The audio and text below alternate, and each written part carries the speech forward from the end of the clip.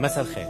من تلفزيون لبنان بنحييكم وبندعيكم لمتابعة حلقة جديدة من برنامج أمن حالك. أمن حالك اللي عم نناقش فيه مواضيع تتعلق بعالم التأمين. اليوم رح نحكي عن وساطة التأمين ووسيط التأمين وسيط التأمين اللي عنده واجب ائتماني بالعمل والحصول على أفضل مصلحة للمؤمن وتقديم الاستشارة العملية الصحيحة واللي بتكون مستقلة عن أي تأثير لشركة التأمين من حيث الاستشارة المهنية. يعتبر وسيط التأمين كالمحامي المحاسب الطبيب والمهندس اللي بيقوم بتقديم الاستشارة المهنية المحايدة بناء على سنوات من الخبرة والتعليم والتدريب المستمر. اليوم رح نحكي مع ضيفنا رح نحكي عن هالمهنة وساطة التأمين مشاكلها وأكيد الحلول. مع ضيفنا النائب الحالي لوسطاء التأمين الأستاذ إلي حنا. مساء الخير أستاذ إلي. أول شيء بدنا نقول لك مبروك. مساء الخير. لأنه ب 18 آب الماضي حضرتك توليت رئاسة نقابة وسطاء التأمين. صحيح. اولا بتشكركم بتشكر على الدعوه لحتى نحكي عن قطاع. أنا بالنسبة لي قطاع كثير أساسي وحيوي وبهم كل المواطنين. ما بهم طبقة معينة من العالم بهم كل العالم كل الألوان وكل الأنواع. وما في أي آه شيء إلا فعلا اليوم قطاع التأمين هو قطاع حساس يجب التوعية. التأمينية نعم. ضرورية جدا بوقت الوضع الوضع الاقتصادي وضع البلد كثير صعب يعني دور الوسيط هو دور كثير حساس. ضمن ضمن كل هالقطاع اللي هو بيكون بين بين المؤمن وشركة التأمين. وكلنا بنعرف إنه صيت شركات التأمين ما رح أكيد نشمل الكل. المواطن اللبناني شوي عنده مشكلة مع شركات التأمين لأنه إذا بنطلع الاكسبيرينس القديمة مكون كان فكرة خاطئة. أنتم قديش دور الوسيط هون بتعديل هالصورة وبتقريب المؤمن لشركة التأمين؟ اليوم معك حق في إذا بدك فكرة كل المواطنين عندها إياها إنه اليوم بس تقول بيشتغل بقطاع التأمين أو شركة تأمين هودي جماعة ما بيسوا يعني حتى ما نقول الكلمة اللي بيستعملوها المواطنين أنا بقول لك قطاع التأمين هو قطاع فعلا إذا بنجي بنطلع نحن هو قطاع صار وضعه كثير منيح. نعم. بالنسبة للسنوات الماضية ما فينا نقيس اليوم قطاع التأمين اليوم بوقت الحرب. اليوم وقت الحرب كان كل المشاكل بتعرف مشاكل بكل القطاعات. وخاصة بقطاع التأمين. يمكن المواطن عنده خبرة سيئة. اولا رح أقول ليش بالنسبة لي لأنه يمكن كان يتوجه مباشرة على شركة تامين قبل ما يمرق من خلال وسيط مرخص. ويمكن كمان يعني بس تكون ظروف صعبة. شركات التأمين هي بتكون من أصعب لتكمل شغلها. يعني بالنهاية إذا في كان ميليشيات وفي ضغوطات هون بتكون صعوبة كثير كبيرة قلت لك بوقت حرب ما فيك تقيس قطاع بوقت ظروف ظروف البلد. الوضع الامني كان نعم. وضع ما ما بينحسد عليه لبنان. ما زلنا لليوم يمكن كمان بتقول اليوم كمان الوضع ما بينحسر عليه وضع الامني بس ولكن اليوم أكيد صار في توعية تأمينية أحسن من من 10 سنوات لورا أو من 15 سنة لورا.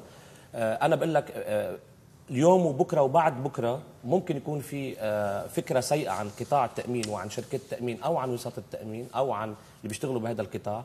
أنا بقول لك إنه فعلا اليوم هيدي بتصير المشكلة إذا كان ما في توعية تأمينية عند المواطن نعم. هذا البرنامج وسبق يمكن صار لي ظرف أنا إنه نعم. كان عندي برنامج خاص بهذا الموضوع اجى كثير تجاوب من المواطنين بعتبر إنه اليوم لا اليوم صار في توعية هالتوعية أكيد بتخفف من هالفكرة وهي بيعود ل اولا أنا بالنسبة لي كان بوقتها فترة من الفترات كان في حرب ما كان في رقابة يعني السلطة الرقابية اللي هي وزارة الاقتصاد ما كانت موجودة بتعرف مثل ما كان معظم ال ال وهي الرقابة هي اللي بتزيد وهي هي الرقابة والقوانين الإجرائية اللي بتكون موجودة هي اللي بتخلي يحس المواطن إذا مرتاح أو مش مرتاح. أنا بأكد مثل أي مهنة بالعالم في ناس منيح وفي ناس منهم منيح. اليوم بشركات التأمين معظمهم هم شركات يعني شركات فعلا جيدة وتعمل وفق ومع الوقت عم بتضاين الشركات اللي هي عم تشتغل بطريقة صح صحيحة صح. وال... وأكيد هذا اللي عم نشوفه على الأرض. بدي أسألك بس بما إنه عم نحكي إنه بكل مهنة في ناس سيئين وناس ممتازين بوسطاء التأمين كمان أكيد هذا الشيء موجود. وأنتم بدوركم بالنقابة كيف بتقوموا بتنظيم أو بفلترة هالمجموعة؟ نحن اليوم كنقابة وسطاء التأمين بلبنان مؤسس صار لها أكثر من 20 سنة. اولا وفق مثل ما قلت وفق القوانين الموجودة نحن في وسطاء تأمين بينتسبون مش كل وسطاء التأمين موجودين بالبلد هن وسطاء مرخصين. نعم. نحن نأمل وحده من الأهداف اللي نحن عم نسعى لها مع الفريق العمل الجديد اللي طلع نحن انتخبنا من حوالي حوالي شهر تقريبا من اليوم. نحن هدفنا إنه نضم كافة الوسطاء اللي بيقوموا يعني عم بيقوموا بهالمهنة أو عم بيشتغلوا لحتى يكونوا هن وسطاء مرخصين تحت تحت إذا بدك الأمبريلا تبع نقابه وسائل التأمين. نعم. آه، هيدي شغلة أساسية. هلأ بتقول لي كيف بنفلترهم؟ اليوم ال- كل إنسان بتفلتره حسب أعماله. يعني اليوم مجرد ما يكون في شخص عنده سوء آه، سوء سمع أو سمعه منا منيحة نحن واجباتنا إنه أو إذا كان شخص منه آه، ضمن النقابة نحن ما قلنا عليه. هن بح... هن لازم ينتسبوا للنقابة ولا خياري الانتساب؟ لا هو لحديث اليوم خياري. نحن نسعى إنه أن تكون هذا ال- الانتساب يكون انتساب يكون انتساب إلزامي. إلزامي منه خياري. ولكن أنا بقول لك إنه اليوم إذا في قوانين في وزارة اقتصاد كل شخص بيتعاطى تأمين هو غير مرخص لازم تمنعه. في قوانين بتمنع إنه أي شخص يتعاطى بهذا القطاع أو يكون وسيط إلا ما يكون عنده رخصة من حائز على رخصة. أكيد في له شروط معينة عنده شهادة معينة لازم يكون عنده خبرة معينة.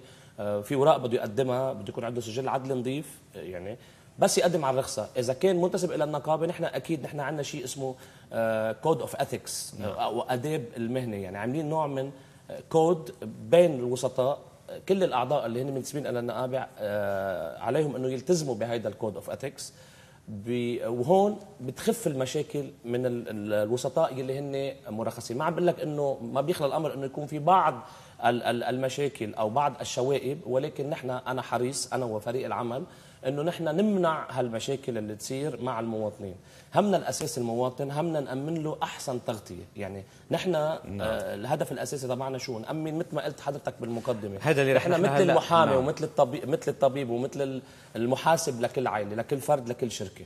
دوره كثير مهم مثل ما قلنا. وسيط التأمين. رح ننتقل عن زميلتنا كريستين حداد لنعرف من شو مسؤول مسؤولية وسيط التأمين من العميل ال- من ال- المؤمن اللي أكيد هو عم بيقدم له الخدمات. مساء الخير. بداية لضيفنا الأستاذ حنا أكيد مساء الخير لكل المشاهدين يلي عم بيتابعونا بهالحلقة. أكيد مثل ما ذكرت نادر دور وسيط التأمين كتير مهم. آه هو يعني و- يعني واحدة من المهن يلي بتتطلب أكيد آه، قدرات عالية على الوسيط من التركيز وأيضا من الإلمام بعالم التأوي- التأنين قوانينه والأنظمة يلي بتحكم هيدي المهنة. أيضا على وسيط التأمين أنه يتحلى بمجموعة من القواعد الأخلاقية والالتزامات الأساسية يلي بتأهله للنجاح بعمله. والارتقاء بمستوى المهنة إلى مكان أفضل. فمن أهم التزامات وسيط التأمين تجاه العملاء آه، أكيد أولا التعامل مع العملاء وزملاء المهنة والجمهور بصفة عامة على أساس الوضوح والالتزام والنزاهة سواء قبل إصدار وثيقة التأمين أو بعد إصدارها أو في حالة التعويض أكيد بما لا يتعارض مع شروط العقد.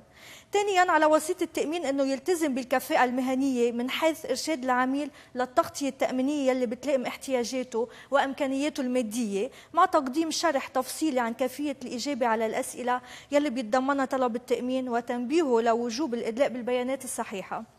ثالثا على وسيط التأمين أنه يحافظ على سرية وخصوصية البيانات الخاصة بالعميل ويلي بيحصل عليها أثناء إبرام العقد. ما بيفصح عن هالبن- البيانات لأي طرف إلا بعد موافقة العميل أو بناء على أمر قضائي أو في حال كانت هالمعلومات بتأثر على قرار الشركة بقبول طلب التأمين أو برفضه. من التزامات وسيط التأمين تجاه العملاء أيضا على وسيط التأمين أنه يتبع الإجراءات الدقيقة المحددة واللي بتؤدي لحماية ممتلكات العميل يلي هي موضوع التأمين وحمايتها من الأخطار المختلفة. خامسا على وسيط التأمين أنه ينبه العميل لحلول موعد تجديد الوثيقة ومتطلبات التجديد قيمة القسط المطلوب وآخر موعد للتسديد آه، أكيد قسط التأمين. ولضرورة الإفصاح عن أي تغيرات ممكن تكون حدثت خلال الفترة السابقة مما بيأثر على قرار الشركة بقبول آه، تجديد العقد أو رفضه. على الوسيط أيضا إنه يسلم العميل إيصال معتمد من شركة التأمين بجميع المبالغ يلي بيكون تسلمها منه تحت حساب قسط التأمين وعليه إنه يرد له فورا أي مبالغ بتستحق بعد استيفاء قيمة هيدا القسط.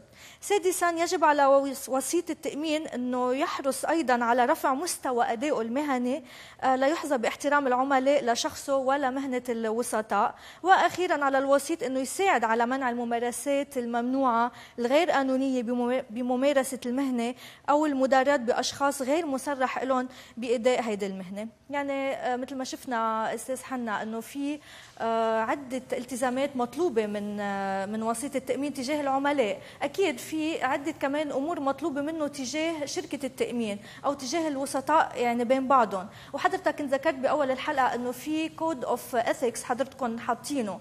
كيف عم بيتم متابعة الوسطاء لحتى تعرفوا آه، عم بيقوموا بي بي يعني عم يعني بيمشوا بهيدي البنود أو عم بيصير في أي إخلال اولا بتشكرك على البرزنتيشن اللي عملتيها عن موضوع الوسيط وهو ما هو دور الوسيط نعم. اليوم بنوافق على معظم القصص اللي قلتيهم بس في بعض القصص بعتقد بدها توضيح اليوم عندما يكون الوسيط هو مرخص نعم. وعنده شركة آه اللي اللي تذكرته بس لأنه كنت عم تابع الحلقة معك بموضوع الوصل اليوم حتى ما نشوش هذا الموضوع آه، المواطن كذا. نعم يعني يكون- بهمنا نوضح. عن عن- نوضح. عندما يكون نحن وقت بيكون ال- الوسيط آه، آه، مرخص وعنده شركة وبيصدر وصل منه هو ملزم ما نحن ما عم نقول إنه الوسيط ما لازم يدفع ال- المبالغ المتوجبة أو اللي قبضها ل- لشركة يعني ب- التأمين. ب- برأيك بس بيكفي الوصل اللي بتعطيه الوصل- وساطة نعم التأمين. عم بحكي هذا البوينت نعم. بلفت نظر لأن هي بتصير في بعض الجدل عليها وفقا للقوانين اليوم ال- الوصل اللي بيصدر عن شركة التأمين هو وصل معترف فيه وعلى شركة التأمين أو الشركة الضامنه الالتزام به مثل ما هو إذا في خلل ما مثل ما في بكل مهنة بين الوسيط وشركة التأمين هون على شركة التأمين إنه هي بصير في آه، قصص قانونية بس ما خصوا العميل. العميل بيكون بهيدي الحالة مغطى. هلأ بالنسبة لنا نحن اليوم آه، آه، كيف عم نراقب الوسطاء؟ نعم. اليوم بكل بكل آه، نحن عم نجرب آه، من أول ما آه، بس. قبل المراقبه قبل ما ننتقل لهيدي النقطة في بنرجع بنوضح بخصوص الوصل لأنه المشاهد بده يعرف بالنهاية هو أي وصل رح يطلب رح يطلب الوصل من وسيط التأمين لأنه أنت عم تقول في حضرتك في شركات عندها وصولات لها وسطاء اليوم تامين ال- ال- الوسيط هو نعم. عنده شركة تجارية نعم. الشركة التجارية وقت اللي أنا بسلم ال- ال- ال- العميل أو المواطن أو بسلم بوليس التأمين مجرد ما أنا صدرت بوليس بو- وصل تأمين نعم. من آه، شركة وساطة التأمين، صحيح نعم. من شركتي شركه شركة تجارية مرخصة نعم. عندي رخصة من وزارة الاقتصاد بتسمح لي أت- امارس المهنه وع- وهي وشركة تجارية الوصل اللي بيصدر من شركتي هو وصل معترف وبيحمل مواطن يعني بالمحاكم معترف هذا الوصل. أكيد نعم. معترف فيه هيدا الوصل إذا كان أكيد كمان إذا جاب وصل من شركة تأمين منه شيء منه شيء غلط نعم. يعني. مش عم إنه ما يجيب شركة بس منه إنه الوصل الوحيد المعترف فيه اذا حقوق المواطن لما يكون الوصل المواطن. آه، أهم شيء يتأكدوا إنه وقت اللي يتعاملوا مع أشخاص آه، وسطاء يتأكدوا إنه وسطاء مرخصين. أكيد أحسن إذا كان في آه، آه، مرخص وينتمي إلى نقابه وسطاء التأمين. هلأ بقول نحن كثير بهمنا آه، نادر بوقت ما انتخبنا مع الفريق العمل ومع أعضاء مجلس النقابه إنه نبني جسور ونوضح العلاقه ما بين شركات التأمين وما بين الوسطاء والعلاقه ما بيننا نحن كوسطاء ووزارة الاقتصاد اللي هي سلطة نعم. الرقابة على هذا القطاع. نحن بنطمح إنه هذا القطاع يصير من آه، من أحسن قطاعات مالية في البلد. وأكثر من هيك نحن كثير كنقابة التامين بلبنان ساعدنا دول أو آه، أكثر من بلد عربي نعم. وعلى إنه ينشئ واجنبي إنه ينشئ آه، جمعيات وسطاء التأمين وكنا عم إحنا وياهم ونحن موجودين بكل الجمعيات الأوروبية والشرق اوسطيه يعني بال BIPAR وبال FMBA ورئيس آه، وسطاء التأمين العرب هو هو زميل لنا موجود معنا وهو رئيس سابق لوسطاء التأمين موجود بلبنان. آه، هو رئيس وسطاء التأمين العرب. يعني اليوم ال- نحن بدنا نوضح للمواطن إنه ما ياخذوا فكرة سيئة عن عن هذا القطاع. طبيعي وهذا هدفنا من في. قوانين نعم. مرعيه الإجراء. آه، إذا عندهم وسيط أو إذا عندهم مستشار قانوني هو بيقدر عم نحكي من الناحية القانونية نعم. الوسيط آه، شخص بيعطيهم ال- النصيحة وبيعطيهم ال- المشورة آه، لتحميهم من لتغطي لهم الأخطار اللي بتحمي الانترست المؤمن. ال- يعني ال- القصص المادية وحياته وحياته للإنسان يعني اليوم أنا وقت اللي بروح لبعطي نصيحة لاعطيه medical insurance أو بوليصه استشفائية طبابه أنا بدي أشوف وضعه الصحي بدي أسأله أسئلة طبيعي أنت هو دوره دوره كثير مهم إنه يكون المواطن. شفاف وواضح بتعبئه هون الطلب دوره كمان الوسيط إنه كمان يكشف هذا المواطن إذا عم. بيغش ولا لا يعني لازم يكون هو بالنص بين شركة التأمين وال وال والمؤمن لأنه في الكثير من الوسطاء. بيكونوا عم بيلعبوا دور يعني وصايره بال بالبراكتس على الأرض إنه الوسيط عم بيكون دائما من جهة الزبون هذا يمكن كمان هون اللي عم بيخلي تكون شركات التأمين حذرة من كل هو الوسيط إذا بدك هو محامي ال- الزبون أو المحامي العميل وهو على المستشار حق العميل ولكن يكون، يجب نعم. أن يكون فعلا يج- يجب أن يكون على حق ويعطي المشورة الحقيقية وإذا المواطن أو العميل عنده لقى إنه ما بيتغطى الحادث تبعه نعم. نعم. لأنه في خطأ ما أو لأنه بوليس التأمين ما بتغطي هذا هالنوع الحادث اللي صار بده يكون واضح ونفس الشيء لازم يكون واضح بتفسيره لبنود العقد نعم. يعني مش هي مهمة إحنا- جدا ما نقول كل شيء مغطى وبعدين نقول الشركة ما غطتك يعني صح يعني ما فينا نشيل المشكلة من عندنا نحطها على غيرنا أو على نحط من نعم. غيرنا نحطها علينا اليوم في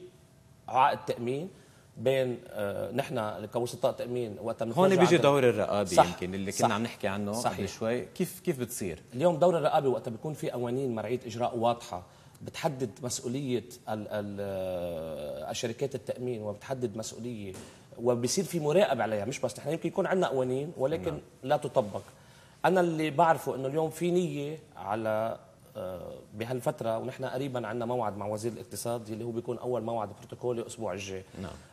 يعني نحن الحسين إنه نحن اليوم في نية مع آه، مع هيئة الرقابة ومع آه، وزارة الاقتصاد إنه نقدر نلاقي مع شركة التأمين لنقدر نوصل لشيء إيجابي ينظف هالقطاع. إذا كان في بعض ال- الشوائب يلي مثل ما قلت لك أي قطاع بالبلد منه منه نحن بعتقد أقل قطاع يلي فيه مشاكل. أستاذ حنا هون كيف عم تقدروا يعني كيف عم تقدروا تحصوا هالمشاكل أو هالشكاوى أو حتى تعرفوا إذا خفت ولا زادت ولا؟ نحن عم نحصل مشاكل يعني عندكم رقم معين مثلا زبون بيقدر يتصل فيه كرمال الشكاوى اليوم- غير المشاكل القطاع؟ اليوم نحن موجودين بهذا الدومين. أنا مثلا شخصيا صار لي 25 سنة بسمع المشاكل بتشوف النسبة إذا في عدد أكبر أو أقل من العالم عم تتوجه. ما عندنا إحصائيات دقيقة بس اللي بقدر أقول لك كنا يمكن نسمع كثير اليوم بنروح عند المواطن اليوم صار المواطن بيستوعب أكثر إنه لا جاي شخص شخص عم بيبيعني بوليس التأمين هو هو فعلا آه، مستشار آه، تأميني ومرخص وعم نوعي العالم مثل ما قلت لك. يعني اليوم أنا على مد- فترة طويلة كنت كان كنا نحكي نوجه من خلال آه، عدة حلقات إن كان عبر التلفزة أو من خلال الراديو إنه نوصل للعالم إنه انتبهوا الوسيط التأمين هو شخ- شخص ضروري هو مثل مثل ما قلت حضرتك بالمقدمة مثل ما قال نادر هو المحامي وهو المحاسب وهو الطبيب مثل ما في بكل عائلة محاسب وفي بكل عائلة أو بكل شركة في طبيب للشركة أو طبيب للعائلة طبيعي. نفس الشيء لازم يكون في وسيط وسيط مرخص والوسيط ما بيكلف العميل أي تكلفة إضافية على آه، يعني إذا اليوم بيجي للوسيط المواطن عند الوسيط مباشرة أو بيروح على شركة التأمين أنا بعتقد من الخطورة جدا. يمكن نعم. بعض الشركات تزعل منها بس ولكن عم نحكي الحقيقة. اليوم ما فيك تروح دغري على شركة التأمين. شركة التأمين تكون هي اللي بتكتب الخطر وبعد شوي هي اللي بتحل الحادث وبعد شوي هي اليوم الوسيط. رح نحكي عن هذا الموضوع لأنه العالم عم بتضيع بهذا الموضوع. رح نحكي أكثر ولكن رح نتوقف مع فاصل إعلاني من بعدها بنتابع برنامج أمن حالك.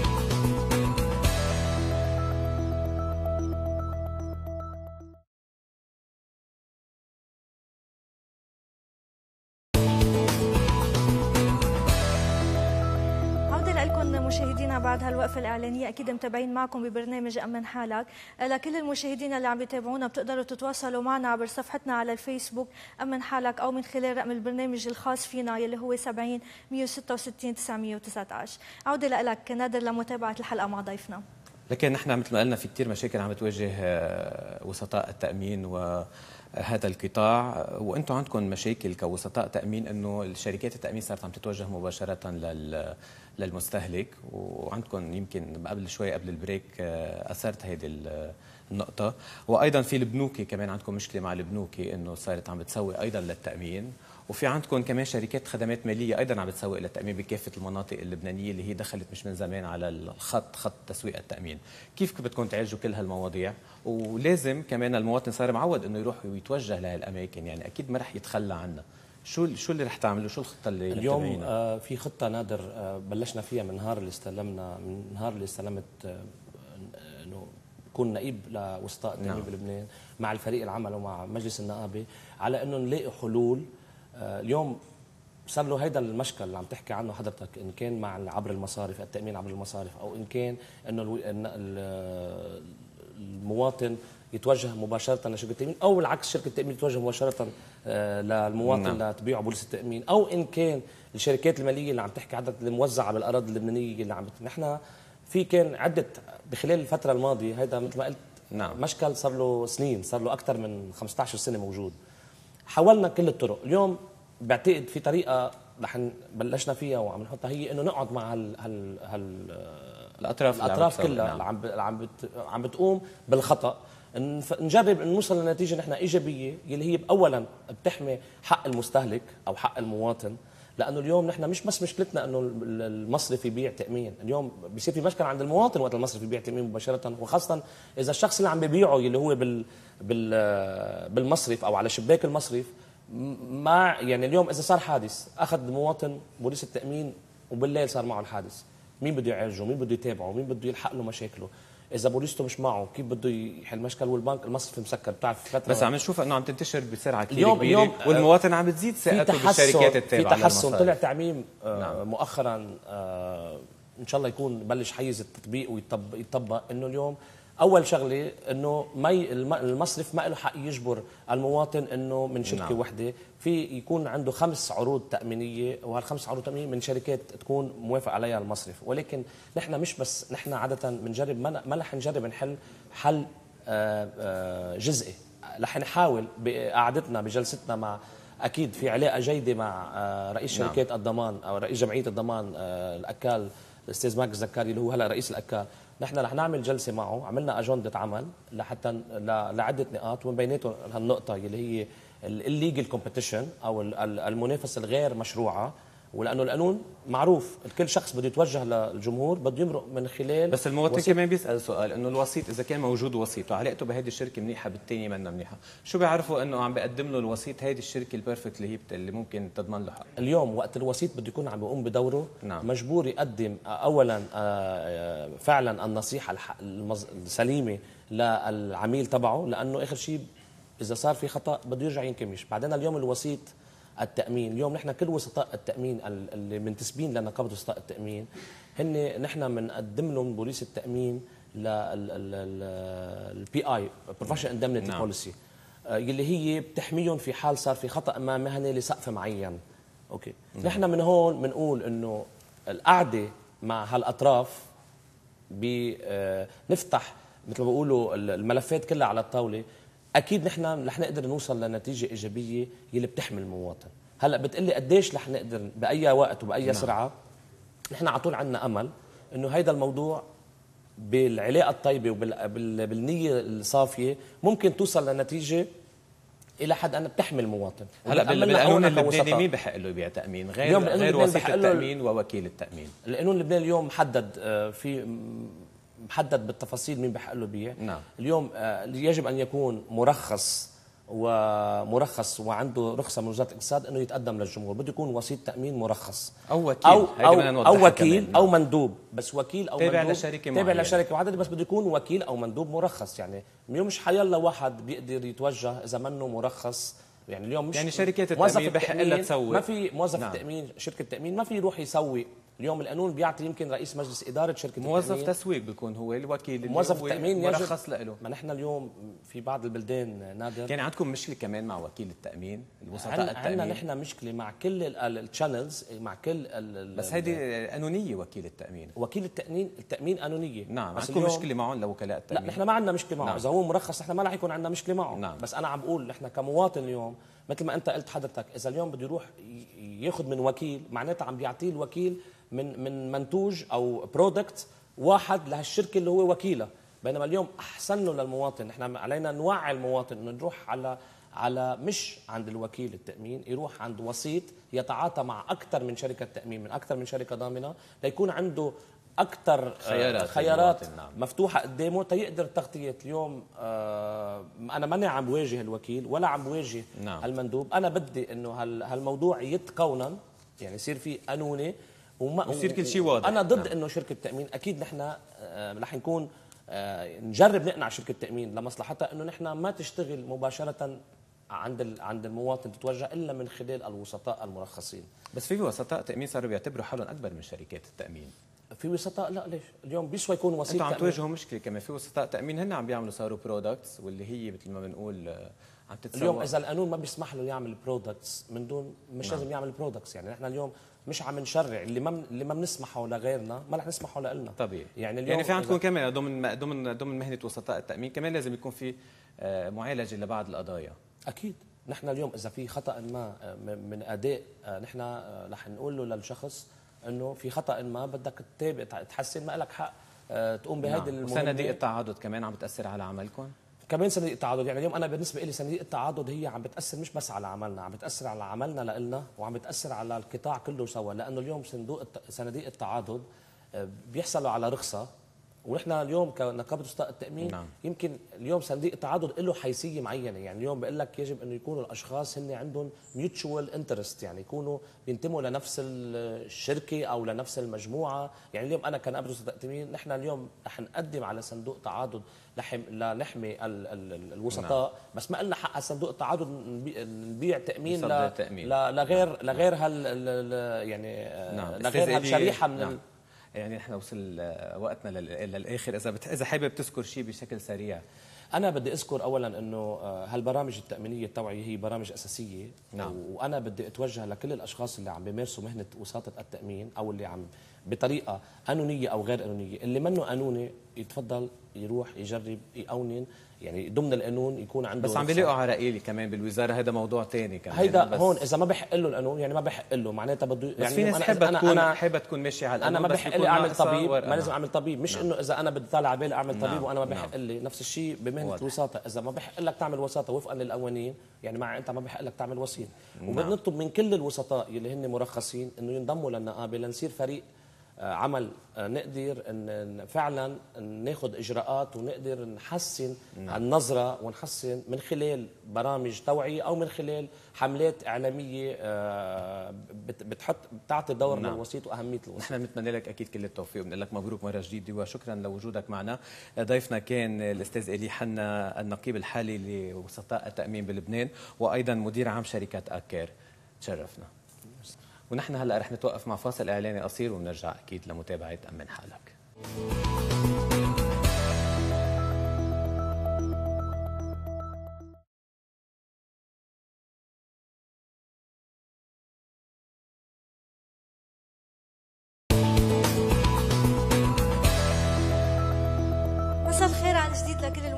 يلي بعدهم معنا عم بيتابعونا ببرنامج أمن حالك. أكيد خلال الأسبوع أخذنا عدد من الأسئلة يلي اتصلتوا فينا خلال من خلال صفحتنا على الفيسبوك أمن حالك وعلى رقم التليفون يلي عم يمرق قدامكم على الشاشة. في عدد من الأسئلة رح نجرب اليوم نطرحها أو بالأحرى رح نطرحها على الهواء أكيد لأنه مهم أنه كل الناس أكيد يعرفوها ويعرفوا شو الأجوبة عليها. آه، نادر في مشاهد ومتابع آه، ريمون رزق. آه، بنقول له bonsoir. بعث لنا مشكلته يلي بتتعلق بحادث سير وقع مع ابنه.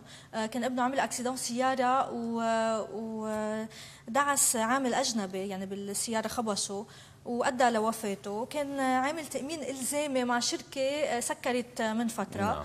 آه، أكيد بوقتها طلبت منه المحكمة إنه يدفع له يدفع ما يدفع الجنيه إنه طلبت إنه يدفع له على القليلة بدل ترحيله على وطنه الأم على أساس إنه الشركة بعدين ترجع بتتكفل بهذا الموضوع. فسكرت الشركة والمواطن آه، أستاذ ريمون رزق بعده لهلأ عم بيقول لنا إنه ما قدر يعمل شيء بهذا الموضوع. الشركة ما ما رجعت ردت له مبلغ يعني ردت له مبلغ قليل. وكنا وقتها نحن كمان طلبنا منه يتوجه لوزارة الاقتصاد يعمل شكوى. بس عم بيقول لنا إنه ما قدروا يعملوا شيء بهذا الموضوع. يعني نحن هون لأنه عم نتابع هذه القضية من أول ما بلشنا. بنقول للمشاهد ريمو. إنه آه، أكيد إذا وزارة الاقتصاد ما قدرت تعمل شيء يعني عم نحكي عن مرجعية هي المرجعية بالتأمين والشركة سكرت يعني في القضاء. يعني نحن كبرنامج لأنه كان في شوي لوم إنه ما قدرنا نساعده. نحن نعم. كبرنامج يعني نحن بنقدر ندله كيف بيقدر يروح وين يروح بس الشركة سكرت يعني صارت بإيد القضاء كل الأشياء. فكموضوع تأميني نحن هون ما بقى فينا نفيده بشيء إلا إنه يرجع يتوجه لوزارة الاقتصاد. نعم. وما يسكت عن الموضوع نعم. يعني هذا حقه. وهذا أكبر دليل نادر إنه ضروري كل إنسان عم بيعمل تأمين يتأكد بأي شركة عم بيعمل تأمين يعني يكون واثق من أنه هيدي الشركة هي ما نركض دائما للسعر آه للسعر الرخيص. نعم.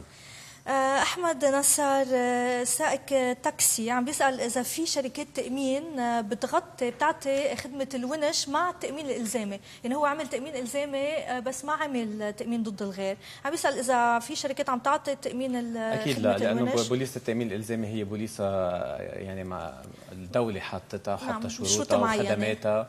فكل الشركات ملزمة بذات التغطيات ما في تغطيات نعم. إضافية على بوليس التأمين الإلزامي وهون بننصحه أكيد يعمل تأمين ضد الغير نعم. لأنه تكلفتها منا أبدا كبيرة والخدمات اللي بتقدمها نعم. بتحميه من كثير أشياء نعم يعني بس حتى نذكر سريعا هون إنه التامين ضد الغير بيقدر بيغطي الأضرار المادية لحدود مبلغ معين ومن ضمنها أكيد بيطلع له تغطية الونش, خدمة الونش. وفي بعض الشركات عم تعطي تغطية السائق وأفراد عائلته بما انه مش مغطيين بالتأمين لأنه هاي البوليسة بتتحكم يعني ممكن تختلف بين شركة وشركة لأنه آه حرة الشركات نعم. تعطي التغطيات منا بعد ملزمة مع إنه صارت إلزامية صارت بس ما بلش بس بعد ما طبقت مدام رنا عم بتقول إنه اشترت تغطية إضافية على تأمين السيارة لتصلح بشركة بشركة السيارة يعني الماركة الجراج الأم. نعم. آه طلبت من شركة التأمين يعطوها آه صار معها أكسيدون. طلبت من شركة التأمين يعطوها المصاري وهي بدها تروح تصلحها بجراج ثاني حتى مش بالشركة لأنه نعم. قال هي هلأ مصيفة بصيدا ما بدها تنزل على بيت على الشركة. أكيد أكيد هون الشركة رح تعطيها التغطية أو رح تعطيها المبلغ قد إيه بتكلف بالجراج اللي هو منه جراج الأم. أكيد هي إخذت تغطيه جراج الأم بس مجبورة تصلح بجراج الأم مش إنه إذا لأنه نحن كلنا بنعرف جراج الأم هو بكلف أكثر من الجراج طبعا. اللي طبعا. الخارجي فاذا ما فيها تعطيها الفرق لأنه التأمين بنرجع بنقول هو مصدر منه مصدر للربح إنما لتعويض الخسارة نعم. هلا هي مع إنه بتقول إنه أنا دافعة المبلغ يلي بغطي جراج الأم بس مثل ما فبدنا نعذبها تنزل من الصيفية. آه علي تركي عم بيسألنا ليه لازم يدفع 100 دولار آه franchise عن كل حادث؟ مع إنه لما اخذ التامين من القرض السياره auto loan آه قالوا له إنه عليك 100 دولار franchise وحدة. هيدي كثير بتصير وهيدي هيدي المشكلة ودائما نحن بنحب نوضحها. نحن أصلا في كثير أشياء عم نرجع نوضحها لأنه عم بيجي كثير أسئلة حولها. ال 100 دولار هي على كل حادث مش على كل تصليحة. يعني أنا ممكن يكون عندي أربع حوادث فوت على الجراج بدي أتحمل 100 دولار عن كل حادث. مش اذا أنا فت على الجراج بدي اصلح أربع حوادث بتحمل 100 دولار. هذا الشيء كثير مهم ولازم نعرفه. ما في بوليسة franchise على دخول إلى الجراج 100 دولار إنما على الحادث, على الحادث. كل ضربة. نعم. هون بس حتى نرجع نذكر إنه بوليسه ال auto loan أو اللي هي قرض السيارة مجبورين كل الشركات يحطوا فيها حسب اتفاق صار مع أكيد ال ACAL يكون فيها هيدي ال 100 دولار franchise. أما إذا عم تاخذوا أنتم سيارة عم تعملوها tous risques تأمين شامل مع الشركة direct بدون ما تكون هي ضمن ال auto loan بتقدروا تشيلوا ال 100 دولار ال franchise. لهون نادر بنكون وصلنا لنهاية حلقتنا. مثل نحن نطلب أكيد من الأسئلة. كل المشاهدين دائما التواصل معنا. نحن دائما جاهزين على مدار الأسبوع. لنجاوبكم على كل أسئلتكم واستفساراتكم. ودائما أكيد مثل ما قالت زميلتي كريستين عم ننقي الأسئلة اللي بيستفيد منها الكل وعم بيجي حولها كثير أسئلة مع إنه ذكرناها ولكن بنحب نشدد حولها لأنه بتفيدنا كلنا. نعم. شكرا. إلى الجميع. باي.